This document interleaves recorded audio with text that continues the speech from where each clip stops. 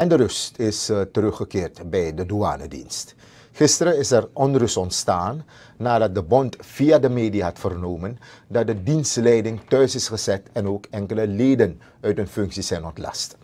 De voorzitter van de douanebond, Joyce de Vlucht, zegt dat de bond nog in onderhandeling is met de minister van Financiën, Gilmore Hoefdraad. De bewindsman heeft de bond twee weken de ruimte gevraagd om zaken op orde te stellen.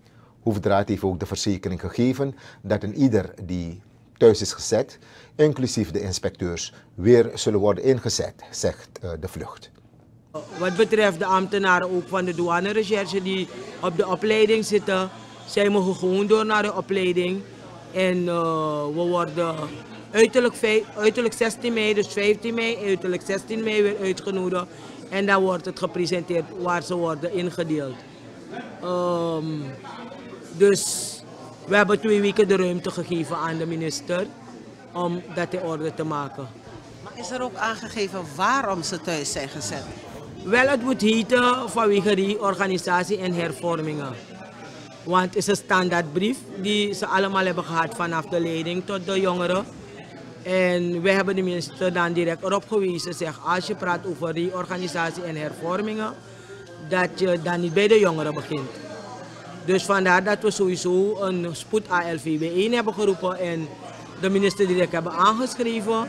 We zijn ook ontvangen en we hebben daarop sowieso gehamerd dat het niet kan. En vandaar dat we gistermiddag tot dit punt zijn gekomen dat deze mensen uh, weer teruggeplaatst worden.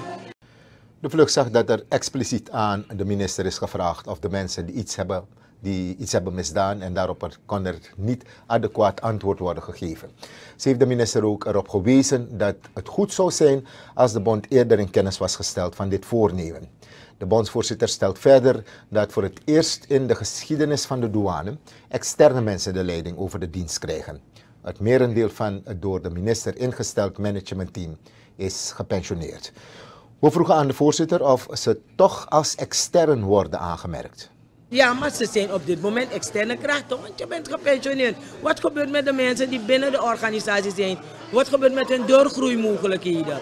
Vandaar dat we aan de minister gevraagd hebben, zeg, als je uh, bij je standpunt blijft om uh, de leiding niet weer in te zetten en met deze uh, managementteam door te gaan, willen we wel hebben dat vragen dat er actieve ambtenaren ook plaatsnemen, zitting nemen binnen het management.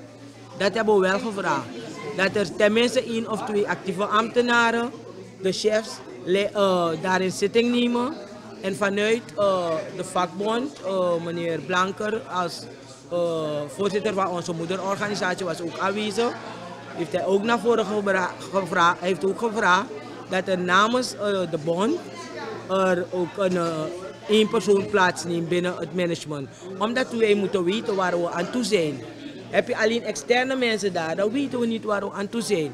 We willen ook onze eigen mensen daar. Zodat wij uh, uh, weten waar we naartoe gaan met de organisatie. Dus we hebben dat gevraagd en de minister heeft aangegeven dat hij het zal meenemen en bespreken.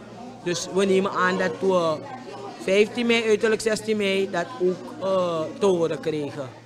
Dus nu kunnen we zeggen, is een ultimatum. Ja, ja, we zijn dus in onderhandeling. We zijn dus in onderhandeling. En uh, we nemen aan dat het, dat het er positief uitziet. Alles uh, Joyce de Vlug, voorzitter bij de Douanebond. In de twee weken naar 15 mei toe zal er volgens haar normaal gewerkt worden. Ze benadrukt dat de bond altijd prettig heeft samengewerkt met de financiën minister. De leden hadden tijdens de vergadering aangegeven dat de dienstleiding per direct weer aan het werk moesten. Maar de bond heeft hen ervan kunnen overtuigen om de minister de ruimte die hij heeft gevraagd te geven. De vergadering is verdaagd naar 17 mei.